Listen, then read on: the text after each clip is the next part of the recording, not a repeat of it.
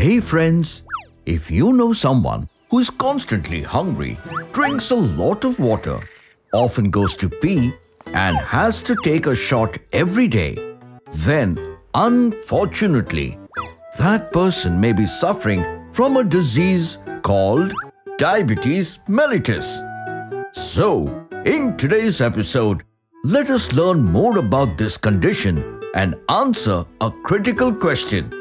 What causes diabetes? Zoom in! Diabetes, also known as diabetes mellitus, means to pass through, is a disease that occurs when your blood glucose, a sugar that is the body's main source of fuel, is too high. But before we dig deeper into the subject of diabetes, first we need to learn about a body organ called pancreas that is located right behind your stomach. It plays an essential role in converting the food we eat into fuel for the body cells and helps in the digestion process. Not only that, the pancreas has another important task in hand, and that is regulating the amount of sugar in your blood with the help of hormones called insulin and glucagon that are produced in a special cell with a fancy name that is the islets of Langerhans.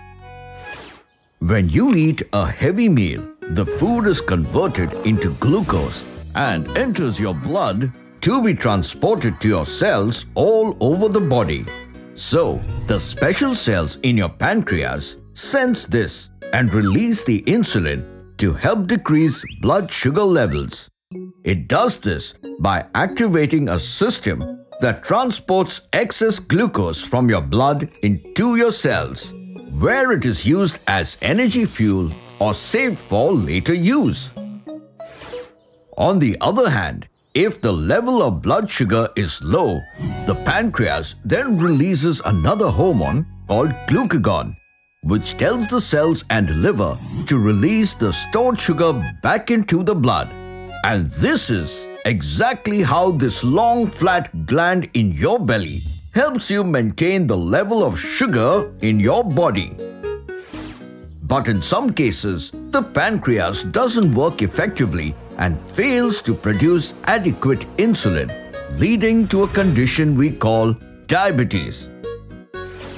Due to the lack of insulin, glucose stays in the blood and builds up, resulting in the hardening of blood vessels that can lead to multiple issues like strokes, heart attack, or kidney failure.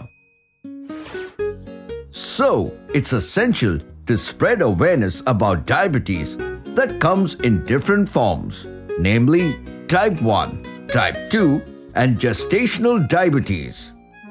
In type 1, your body does not create insulin as your immune system attacks and destroys the cells in your pancreas that produces it. In type 2, the pancreas cannot produce insulin as well or your body cannot use it effectively. And lastly, gestational diabetes develops in some women during pregnancy. Trivia time! Did you know, according to WHO, World Health Organization, about 422 million people worldwide have diabetes. Yes, diabetes affects 1 in 4 people over the age of 65, out of which about 90 to 95% of cases in adults are type 2 diabetes. Also, did you know that there are actually 5 types of diabetes?